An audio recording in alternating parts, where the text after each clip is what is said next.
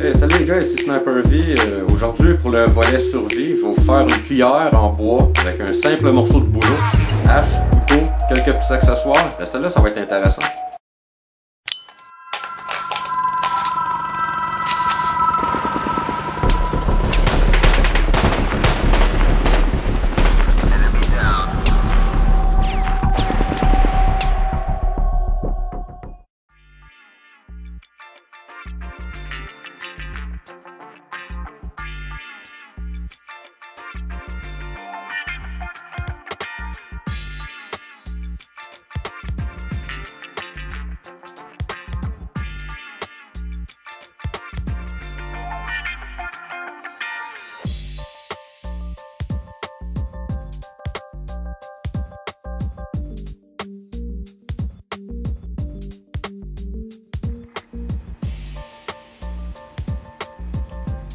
Je l'enlève un peu ici.